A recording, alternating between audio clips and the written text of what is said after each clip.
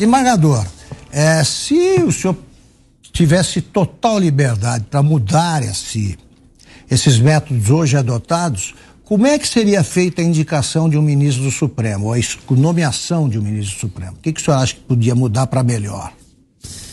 Primeiro, o Supremo tem que ser uma corte constitucional. Sim. Constitucional. Se não houver é, meios políticos, condições políticas para fazer essa reforma dentro do próprio Supremo, o Congresso tem que pensar em criar. Então, mas a indicação de um ministro, como é que assim, seria indicado? É, a questão da indicação, é, a meu sentir, claro. deveria ser juiz de carreira. Juiz de, de carreira. carreira. Por quê? É, e não importa como ele tenha chegado a juiz, pode ter chegado pelo quinto constitucional, não há nenhum problema. Mas quando você julgou por algum tempo, veja a diferença do julgamento da, do ministro Luiz Fux e da ministra Rosa Weber.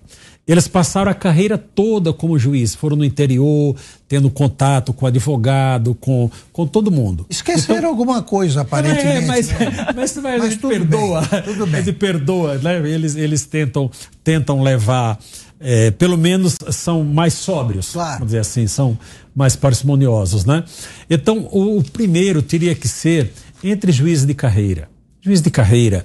Ou, se não for, se for muito isso, pelo menos um percentual. Olha, a maioria dos 11, cinco são de carreira, três do Ministério Público, obrigatoriamente, ou dois da advocacia, tem uma proporcionalidade. Mas hoje nós, nós temos no, no, Supremo Tribunal Federal apenas dois juízes de carreira. Os demais, o, o, ministro Cássio Nunes, ele foi do TRF, mas ele não é, é de carreira. Julgar. Ele foi, ele foi como advogado para o, o TRF. Então, eu acho que, que se tentar uma reforma hoje para o Supremo, vão dizer, olha, está querendo dar golpe, diminuir o Supremo Tribunal Federal. Então, acho que a solução seria a criação de uma corte constitucional específica, com atribuições específicas de guardar verdadeiramente a Constituição e tirar essa atribuição do Supremo Tribunal Federal. Como faz a Corte Exatamente. Suprema. Mas o senhor é favorável, por exemplo, a mandatos fixos? A mandato, não tem dúvida. O, olha, Paula, a, a, a, sociedade ela vai evoluindo, vai criando nova, no, novas ferramentas, novo, novos pensamentos a cada, a cada momento. O ministro fica naquele, naquela posição por 40 anos. Não 40 pode. anos, não é? Não pode. É, o pensamento dele vai ser aquele mesmo, não tem renovação. Desembargador, exatamente também. Falando essa parte aí de novas tecnologias, eu, pelo menos, eu não gosto nada de julgamento virtual, porque não tem os debates, né? Que, que é o mundo jurídico, ele, ele por si só, ele precisa. Para que você tenha uma corte, se você vai ter lá os ministros votando virtualmente e não debatendo entre si?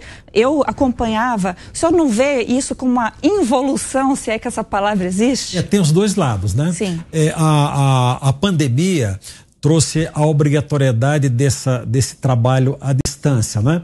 E esse foi um trabalho que deu certo. Sim, mas já passou, né? Deu certo, né? Assim, em termos de, Sim, de produtividade do Poder Judiciário, deu certo. Não é? é? a ministra Rosa Weber ela está voltando com o presencial.